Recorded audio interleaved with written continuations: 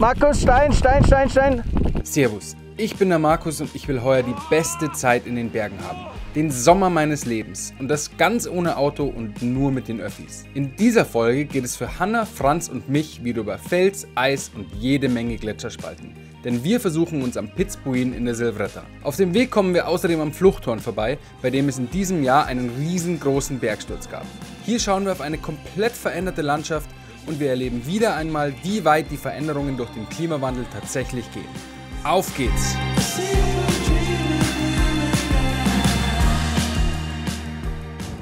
Einen wunderschönen guten Morgen. Ich bin hier gerade mal ein bisschen leiser. Wir sitzen nämlich schon im Railchat und äh, die zwei Murmelmäuschen hinter mir sind im Tiefschlaf. Wir sind auf dem Weg in Silvretta und da verbringen wir die nächsten drei bis vier Tage und gehen auf Hochtour auf den Pitzbuin. Wir machen eine äh, Durchschreitung, wir starten in Galtür und enden dann an der Bieler Höhe. Und ich glaube, jetzt äh, wecke ich die zweimal, weil wir müssen mal den Weg durchgehen, den ich mir da überlegt habe. Also wir kommen jetzt dann nachher mit dem Bus hier in Galtür an, das ist unser Startpunkt. Und von da aus haben wir erstmal einen recht langen Hatscher hier ins Tal rein, bis auf die Jantalhütte. Da verbringen wir auch unsere erste Nacht. Aber heute Nachmittag schauen wir dann erstmal noch, ob wir hier mal ein bisschen Richtung Fluchthorn kommen. Müssen wir gucken, es soll gewittern, aber ich hoffe, dass mitspielt, weil das wäre natürlich schon sauspannend. Gell? Da gab es dieses Jahr den Feldsturz. Ich glaube, das ist recht beeindruckend, wenn wir uns das mal anschauen können. Dann morgen gehen wir hier über den Jamtal ferner äh, Richtung Dreiländerspitz. Da machen wir unseren ersten Gipfel dann quasi und steigen dann wieder hier ab auf die Wiesbadener Hütte, wo wir dann die zweite Nacht verbringen. Und übermorgen geht es dann über den Ochsenthaler Gletscher auf den Pitzbuin, also äh, Tour-Highlight sozusagen. Von da aus steigen wir dann wieder ab auf die Wiesbadener Hütte, verbringen entweder da noch mal eine Nacht oder wenn es uns ausgeht, äh, straffen wir ein bisschen und laufen dann wieder ganz gleich raus äh, zur Bieler Höhe, von wo es dann mit den Öffis wieder zurückgeht.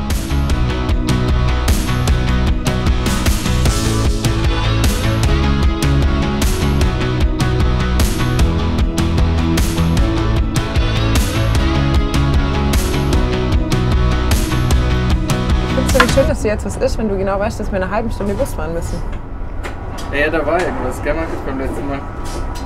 Freust weiß dich nicht, was du meinst, ehrlich gesagt.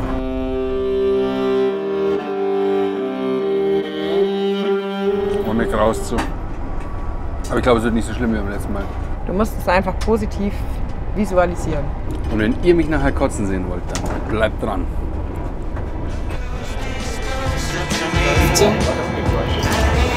Es wird schlimm. Es geht.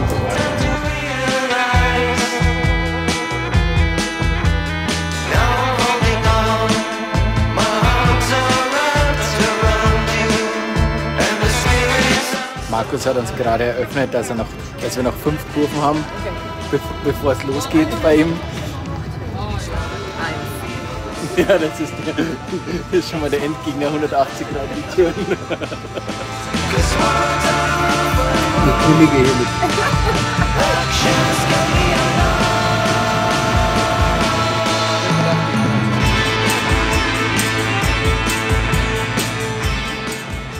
Wir sind ja heute extra früh los und extra Ja. früh aufgestanden, weil wir uns jetzt noch das Fluchthorn anschauen wollen. Gell? Ja, ja, genau. Ja.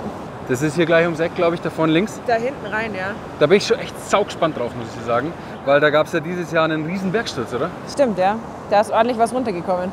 Was ist da genau passiert? Ähm, der Permafrost da oben, der taut. Und äh, dadurch geht der ganze Hang in Bewegung und dann ist da ja im Prinzip eigentlich der Gipfel weggerutscht. Permafrost, was ist denn das genau? Das wollte ich schon lange mal wissen irgendwie, weil man hat so einen umrissenen Begriff, aber genau kann ich mir irgendwie nichts darunter vorstellen.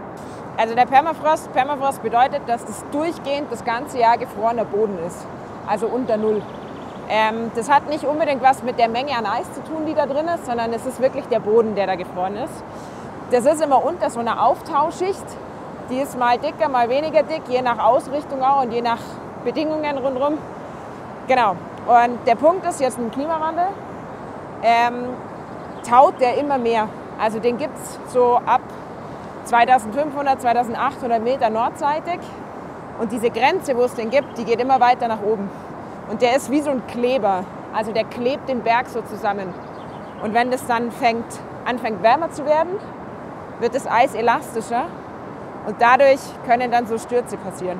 Also der muss nicht mal komplett schmelzen, sondern das reicht, dass das wärmer wird und das wir ins äh, Schmelzen kommt. Wie wenn du dir ein Eis kaufst und das auch quasi am Anfang ist ja relativ hart und dann ist es immer noch da, aber es ist viel weicher. So ungefähr kannst du es vorstellen. Wie geht denn es dann die nächsten Jahre bitte weiter? Irgendwie taut ja alles auf, oder? Ja, schon. Also gerade Steinschlag ist eine Sache, die schon akut wird. Also Steinschlag ist ja was sehr ähm, Akutes. Also du hast ein Tauwetter, dann ähm, kommt Wasser rein, dann friert es wieder auf und dann sprengst du es weg. Beim Permafrost geht es ein bisschen anders, weil der ist ja so weit im Boden drin und das braucht zum Teil richtig lang, bis die Temperaturen, die außen sind, in den Permafrost reingehen, um den zum Schmelzen zu bringen. Das heißt, so Permafrost-Phänomene, die haben so eine Zeitverschiebung. Und Steinschlag ist einfach sehr akut. Das heißt, man hat da quasi von beiden Seiten einfach Sachen, die man in Zukunft berücksichtigen muss. Ja, dann äh, schauen wir uns jetzt an, oder? Jetzt sind wir eh gleich da. Gehen wir schnell Ja. auf Twitter, packen zusammen und schauen noch mal eine halbe Stunde weiter. Have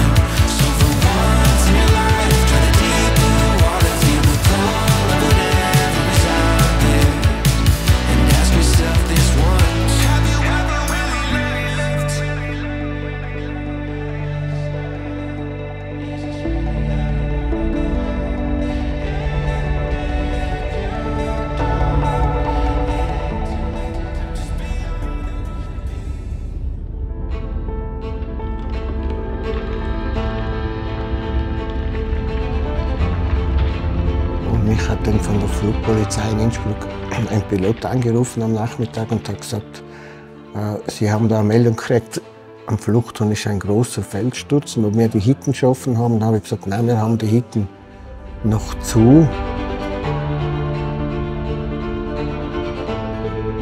Dann bin ich natürlich sofort auf die Hütte gefahren und habe mir zuerst geschaut, ob im Selbstversorgerraum ob jemand da ist, ob jemand im Hüttenbuch eintragen ist, ob niemand im Fluchtturm unterwegs ist.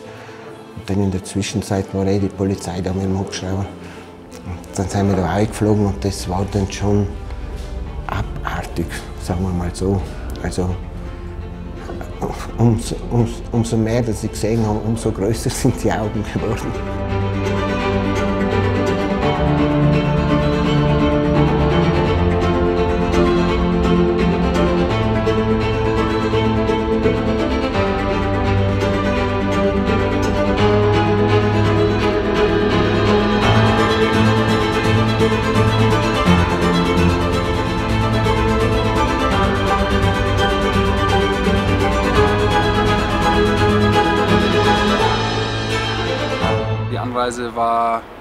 Bis auf die Busfahrt mal wieder.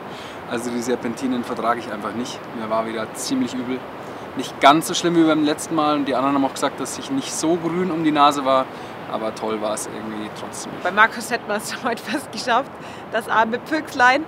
Ähm, bei dem hätte das Frühstück fast schon wieder Pötchen gegeben, aber es ist alles nochmal gut gegangen, Gott sei Dank. Äh, Hier an der Jamtalhütte haben wir eigentlich nur ganz kurz abgelegt und sind dann weiter Richtung Fluchthorn. Das am Fluchthorn heute war echt krass beeindruckend. Also zu sehen, wie viele hunderttausende Kilogramm Fels einfach also von so einem Eis zusammengehalten werden. Irgendwie, das ist ganz schön krass. Jetzt warten wir eigentlich nur noch auf eins meiner persönlichen Tageshighlights immer bei dem Trip, nämlich aufs Hüttenessen. Wir wissen noch gar nicht, was es gibt. Ich hoffe ganz stark auf Knödel. Ich habe ziemlich großes Vertrauen in die Hüttenwirtsleute. Das wird mit Sicherheit wieder saugut. Und ja, wir haben ein richtig schönes Zimmer bekommen. Vierbettzimmer mit eigenem Waschbecken und Blick aufs Fluchthorn. Äh, wunder, wunderschön. Einziger Wermutstropfen ist, dass ich mit dem Franz im Bett schlafen muss. Und äh, der Franz ist ein wenig nachtaktiv. Morgen geht es dann weiter auf die Dreiländerspitze. Die sieht man hinter mir schon ziemlich deutlich. Und äh, da kriegen wir, glaube ich, einen schönen Ausblick und eine gute Tour. Und dann geht es runter auf die Wiesbadener Hütte, wo wir dann die zweite Nacht verbringen. Bier, Bier, Bier, Bett, Bett, Bett.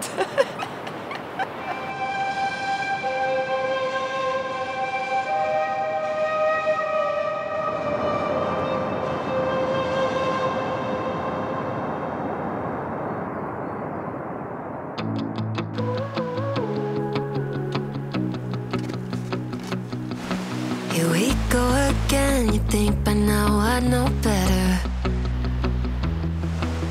Locked in my head, romanticizing forever.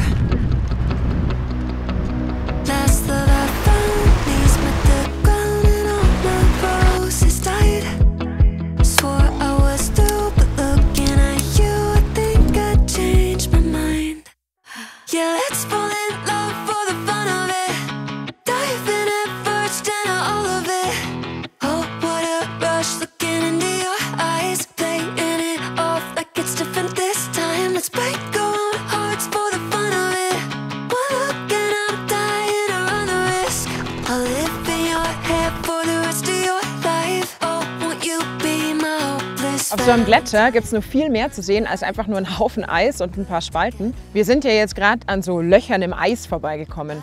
Das sind Gletschermühlen, äh, wo das Wasser im Boden verschwindet im Prinzip. Die kommen so zustande, dass die Bäche, die hier oberflächlich auf dem Gletscher abfließen, ähm, wenn die äh, Spalte oder ein kleines Loch finden, äh, fressen die sich da richtig rein in das Eis. Und das geht dann bis auf den Boden runter. Hier sind jetzt echt ganz viele, aber man sieht auch einfach, wie viel Oberflächenwasser hier runterkommt.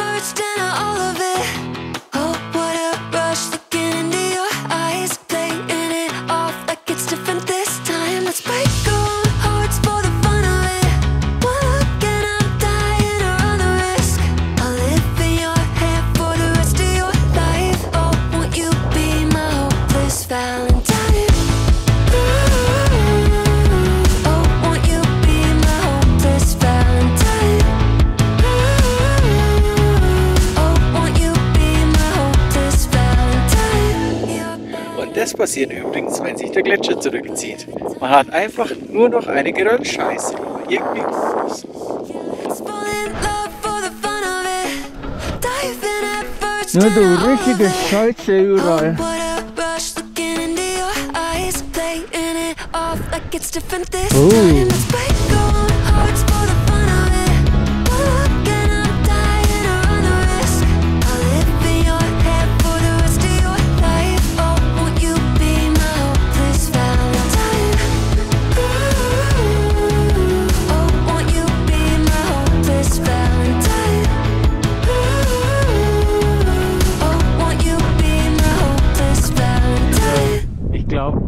wir gehen jetzt eher quasi da in den kompakten Fels rein und nicht in diesen, in diesen Schutt, Schuttkegel da rein, oder? Und dann da quasi an der Seite so vorbei, da hoch, oder? Genau.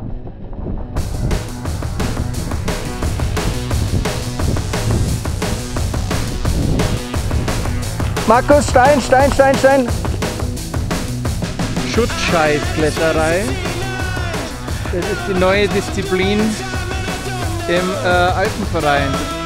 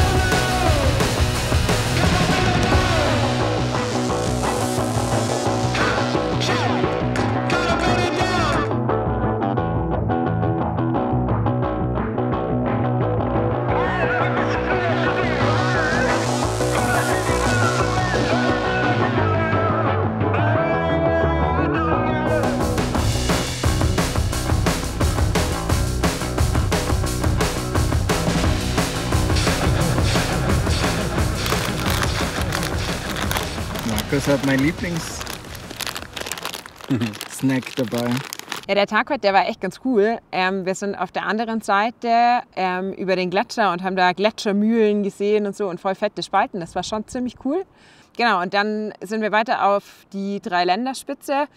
Und da war es am Anfang ein bisschen, bisschen sketchy. Da war ganz schön viel Geröll und es kam einem ganz schön viel entgegen. Heute war es für mich irgendwie ein bisschen doof. Ich habe irgendwie den Weg auf die Dreiländerspitze, glaube ich, zu leicht genommen. Ich war hier schon mal vor ein paar Jahren und war mir ziemlich sicher, das noch im Kopf zu haben, aber habe mich da ziemlich verfranst. Super anspruchsvoll zum Teil und auf der anderen Seite aber auch wirklich spannend. Ähm, und ich habe mich dann tatsächlich auch entschieden, unten zu bleiben, weil mir war es dann echt ein bisschen zu sketchy. Mir ist dann da so ein Griff auch ausgebrochen, den ich eigentlich in der Hand hatte. Und dann bin ich weggerutscht und dann habe ich mir gedacht, oh oh, das wird oben noch ausgesetzter, da möchte ich irgendwie lieber mit einem kühlen Kopf rein, wenn. Und deswegen habe ich dann gesagt, okay, dann bleibe ich unten. Wir hatten viele Kletterpassagen, es ging unten los, da war es abschüssig, auch im Geröll. Da musste man mal wirklich sich raufpressen, raufdrücken, ist ewig rumgerutscht.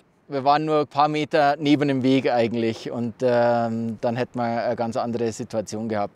Oben wurde es dann ein bisschen besser, kompakterer Fels. Da hat man auch mal eine Leiste in die Hand bekommen oder einen schönen Riss und diffizile Fußtritte.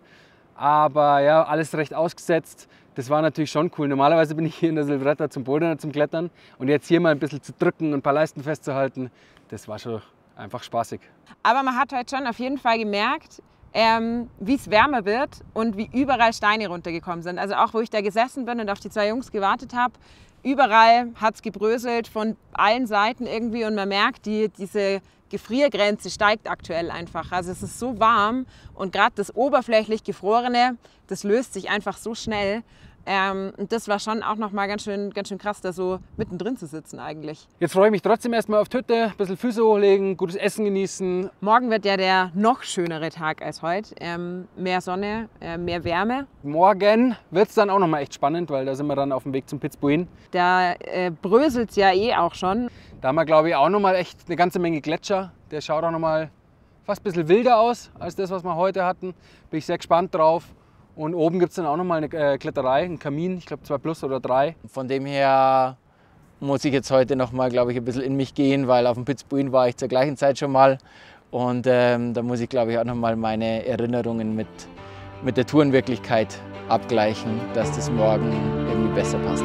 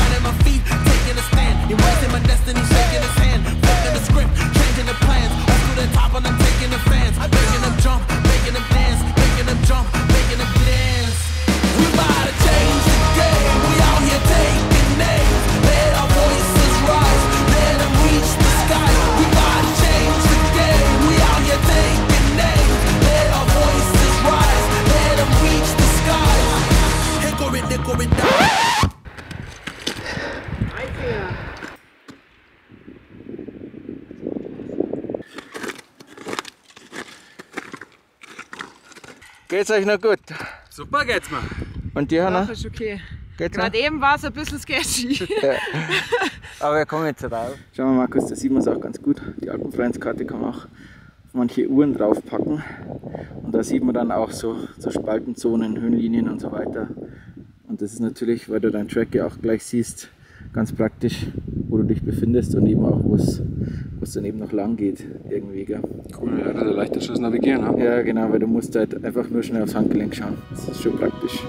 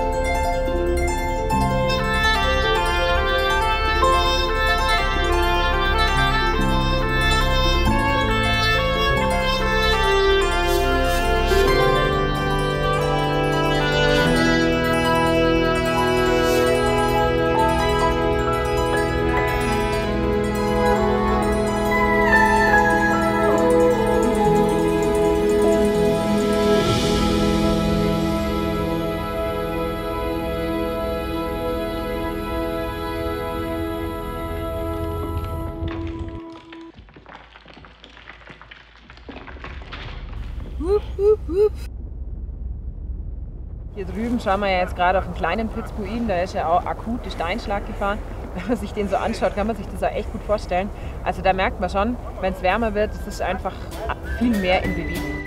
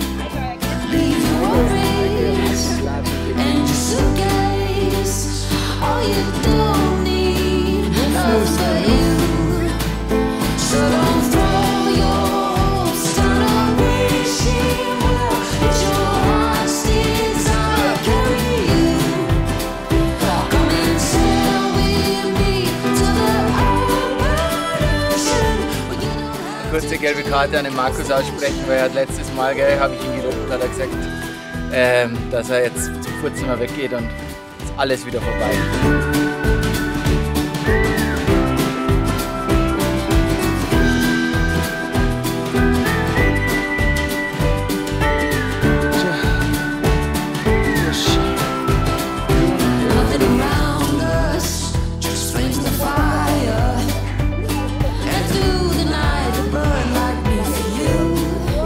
Oh, running. Kätzle und Füchse im Sommer ihres Lebens. Schmeckt super. Ich finde das Geilste ist das gerade. ne? Ja, überhaupt nicht. Das Fleisch ist nur Brot.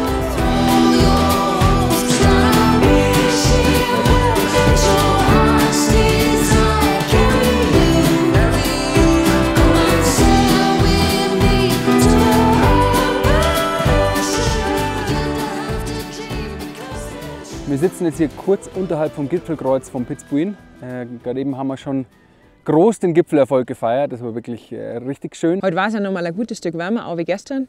Und das hat man echt auch gemerkt. Also auf dem Hochweg sowohl an einem selber als auch drumherum hat man immer wieder gehört, wie Steine runterkommen sind. Äh, Hier hoch war ja, spannend, aber nicht so anspruchsvoll wie gestern. Technisch ein bisschen leichter. Wir haben eine ganz gute Variante gefunden um den Kamin rum, der da die Schlüsselstelle ist. Gerade die Klimawandelfolgen sieht man hier auch richtig krass. Also hier hinter mir, wenn man da ähm, reinschaut, da sieht man die ganzen Flächen, wo früher mal Gletscher waren und da ist gar nichts mehr. Und jetzt kommt dann gleich der doch recht lange Abstieg ähm, bis zur Hütte und dann ganz runter, wo dann der Bus wieder geht, zu Bieler Höhe. Das sind natürlich noch ein paar Meter, aber ich glaube, das kriegen wir dann schnell hin. Here we go again. You think by now I know better. Locked in my head, romanticizing forever. Last love I found, knees met the ground, and all my roses died. Swore I was through, but looking at you, I think I changed my mind. Franz, sag mal, wie waren denn jetzt für dich die zwei Tage? Also Hanna und ich haben ja schon gesagt, dass es für uns echt spannend war und aufregend. Ja, Und du hast ja aber doch immer so eine Doppelrolle, oder? Du bist irgendwie hinter der Kamera und dann bist du aber auch der Erfahrenste und nimmst es ja irgendwie mit auf die Tour auch. ähm, also der erste Tag auf der Dreiländerspitze, das habe ich schon mal gesagt, da haben wir uns mal sauber verfranst. Und heute hat es aber gut gepasst, äh, die Wegfindung und so. Wir sind voll im Zeitplan gewesen. Ähm, und so von der Schwierigkeit habe ich das Gefühl gehabt, dass wir das auch alles locker, locker wegstecken. Was war jetzt auch der Grund, oder das war dann wahrscheinlich auch der Grund, warum wir doch die meiste Zeit seilfrei gegangen sind, oder? Der Gletscher ist ja bis oben hin blank. Das heißt, äh, man sieht alle Spalten. Gleichzeitig hat man aber auch noch im, gerade im unteren Teil vom Gletscher das Problem, dass der ziemlich steil ist. Und ähm, da macht es eigentlich keinen Sinn, sich anzuseilen, weil wenn man als Gletscherseilschaft unterwegs ist und einer fällt auf einem steilen Gletscher, der blank quasi ist, dann nimmt er die anderen mit. Das ist dann, ja, so der berühmte Mitreißunfall, oder? Und dann ähm, sterben am Ende alle oder tun sie alle weh oder was auch immer. Und jetzt bei uns ist ja so, ihr seid ja alle trittsicher und da ist es ja kein Problem, dass man irgendwie mal auf einem, auf einem Eisgrat quasi zwischen zwei Spalten hin und her balanciert und vielleicht mal einen größeren Schritt macht, sodass man da auch von auch keine Sicherungstechnik anwenden müsste im Endeffekt. Das heißt, für uns war es heute wahrscheinlich dann einfach die sichere und bessere Variante. Aber um uns herum waren ja doch oft ganz viele Gruppen, auch mit BergführerInnen irgendwie. Und die waren, zumindest die meisten, angeseilt, oder? Was ist denn das der Grund? Ja, genau. Die ähm, Bergschulen, also ich glaube, das waren neben uns waren fast alle Bergschulen, waren es fast nur Bergschulen halt. Wir sind jetzt mehr oder weniger drei gleich starke Berggeher. Und bei denen ist es ja schon so, dass du auf der anderen Seite den Bergprofi hast und, beim, und die Gäste und die lernen sie ja oftmals erst in, am Abend davor kennen. Und da gibt es halt einfach andere, andere Mechanismen der, der Sicherung. Was die gehen dann halt ab, so eine Sachen am Seil einfach, weil so ein Seil halt auch so eine psychologische äh, Komponente hat. Bei der einen Gruppe war es ja auch so, gell? die haben wir kennengelernt. Und die kannten bis am Abend quasi ihren Bergführer gar nicht. Ja, das ist, glaube ich, relativ normal bei so Sp- Stützpunktbergführern.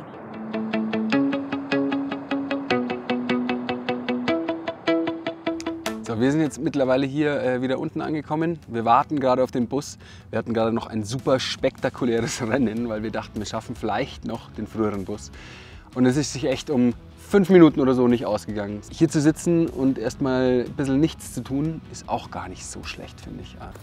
Oh Gott, ich muss aus den Schuhe raus. Oh,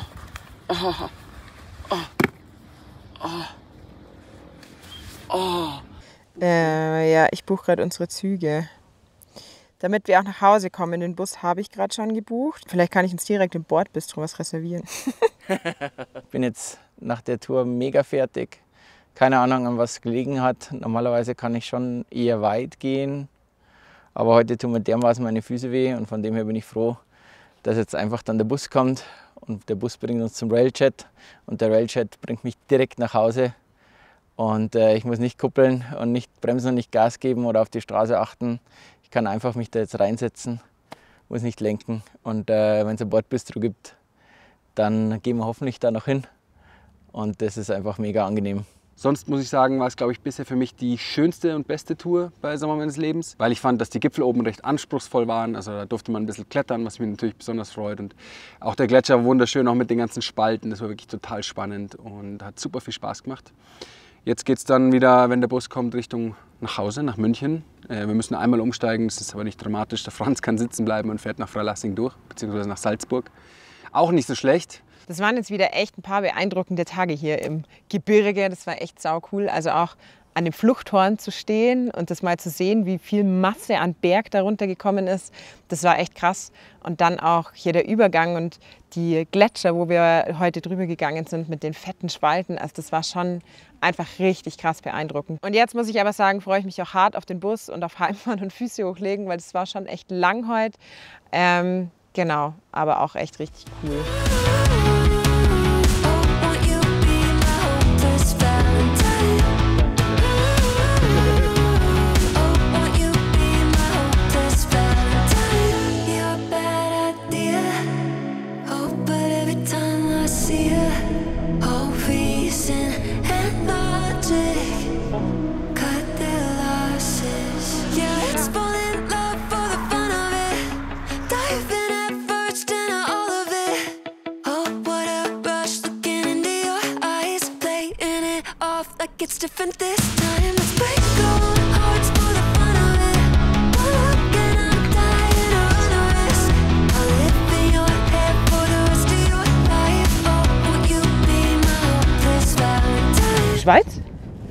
Österreich. Schweiz? Österreich. Mega geil. Grenzstein. Ich bin der Grenzgänger.